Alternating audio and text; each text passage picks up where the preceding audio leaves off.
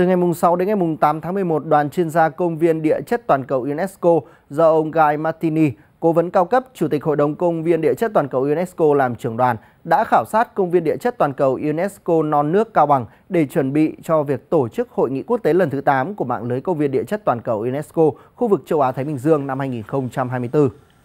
Đoàn chuyên gia đã khảo sát đánh giá công tác xây dựng phát triển công viên địa chất non nước Cao Bằng, lựa chọn bổ sung điểm di sản trên tuyến trải nghiệm số 5 của công viên địa chất này, cập nhật tiến độ uh, uh, triển khai các hoạt động xây dựng và phát triển công viên địa chất non nước Cao Bằng theo khuyến nghị của chuyên gia, khảo sát các điểm di sản địa chất, văn hóa, tự nhiên, cơ sở lưu trú, dịch vụ, cơ sở hạ tầng phục vụ du lịch, dự kiến đưa vào tiến trải nghiệm kết nối công viên địa chất non nước Cao Bằng và công viên địa chất cao nguyên đá Đồng Văn Hà Giang đánh giá chi tiết lựa chọn các điểm để xây dựng tuyến du lịch trải nghiệm.